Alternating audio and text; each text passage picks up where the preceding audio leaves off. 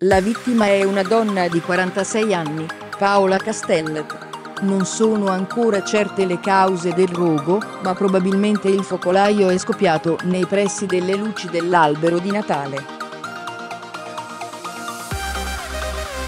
Venezia La tragedia si è consumata questa mattina, in una casa di Concordia Sagittaria, in zona Paludetto, nel veneziano.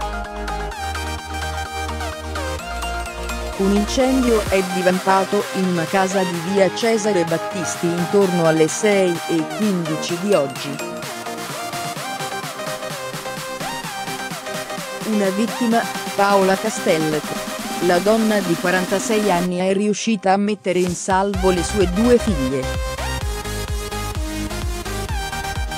I soccorritori giunti sul posto hanno ritrovato il suo corpo, parzialmente carbonizzato.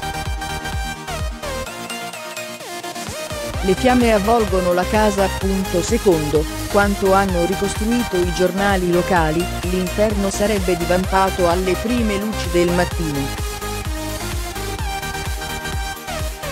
È stata proprio Paola Castella, vittima dell'incendio, a rendersene conto.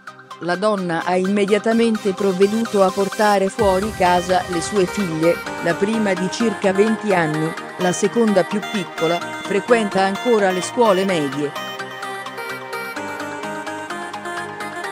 Subito dopo aver messo in salvo le ragazze, la donna è tornata in casa.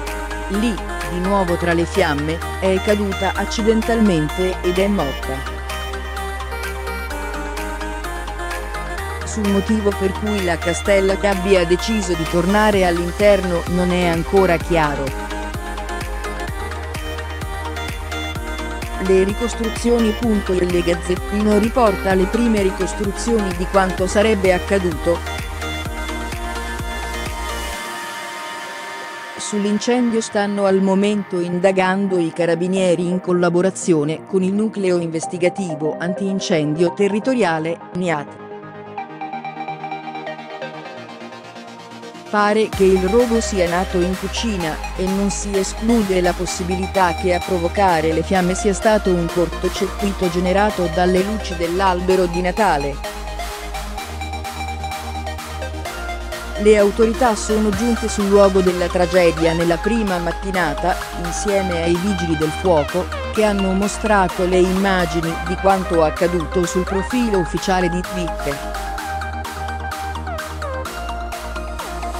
www.newsbytesocialpost.www.tesocialpost.it